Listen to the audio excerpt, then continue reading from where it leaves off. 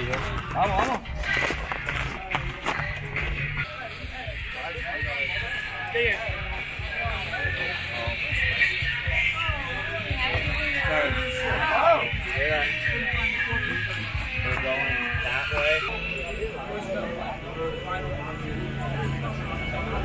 and gentlemen, please turn your attention to the view on the baseline as we honor our seniors.